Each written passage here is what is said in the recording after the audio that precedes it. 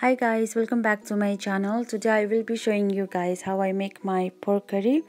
This curry goes really well with rice. Uh, let's get started with all the ingredients. You will need pork sliced onion chopped tomatoes the paste i have made and it has got ginger garlic chili cumin and coriander lemon fenugreek seeds salt to taste, meat masala, turmeric powder, chopped green chilies, and cooking oil. In a pan at about 4 tablespoons of oil. Today i'm cooking my pork curry in firewood. Uh, this is how my grandmother used to make curries for us. Uh, this gives authentic and smoky flavor to the curry. Once the oil is hot, add your fenugreek seeds and fry them until they turn black in color. Then add your meat and fry them until they turn into golden in color. It took me about 5 to 6 minutes.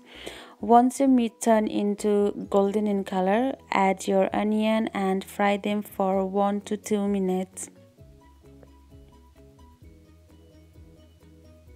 Then add your turmeric powder salt and meat masala and give them a good mix.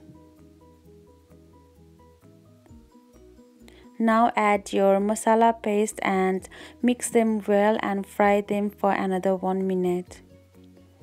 Then add your tomatoes and let them cook until tomatoes turn into nice uh, gravy. You can put the lid on and let them cook but don't forget to stir in between once the tomatoes turn into nice gravy, go ahead and add your lemon and again give them a good mix.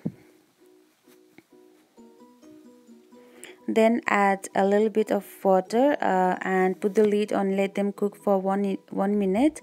Uh, while adding your water, it depends on how much of gravy you want. Then add your green chili and again mix them well and let them cook for another 10 to 20 seconds now your pork curry is ready. If you need to add more salt or chili powder go ahead and do that. Otherwise transfer your curry into a serving bowl. Your curry is ready to be served. And this is how i like to have mine. I like to have my pork curry with rice.